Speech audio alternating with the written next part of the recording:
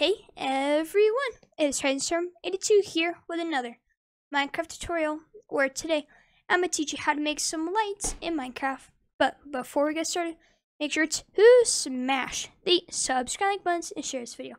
Now let's get to it. So, I have two things. One, the video, but two, it is literally midnight and I still have a shadow. See, look, if I, if I look here, you see that I have a shadow? everything else has it too. See that sheep has a shadow. Um, this thing has a shadow. The chickens have a shadow. That's just crazy. But let's get to it.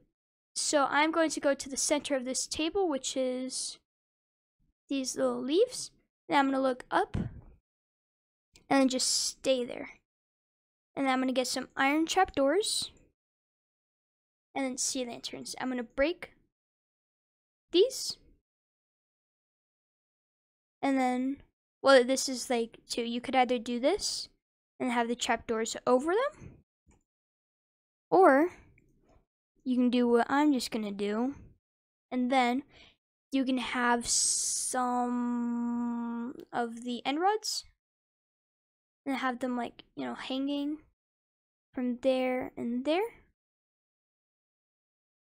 and then just have it hang with all the lights. Because that looks pretty cool.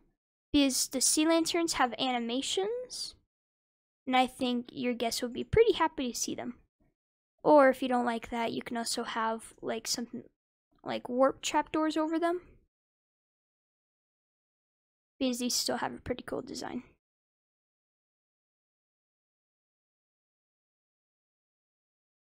And as you can see, if I just flip them all down, this is what it looks like. And I think that looks pretty cool.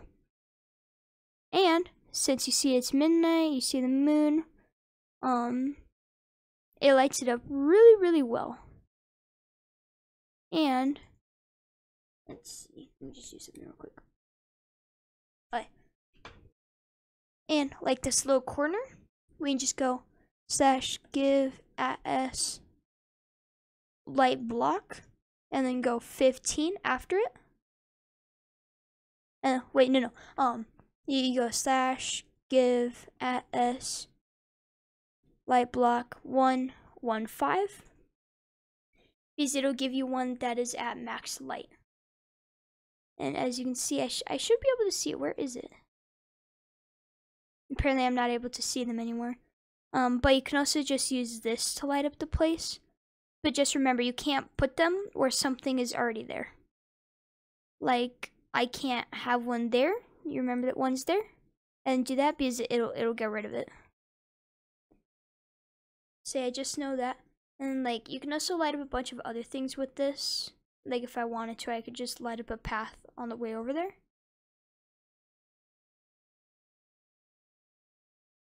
Like, maybe like that.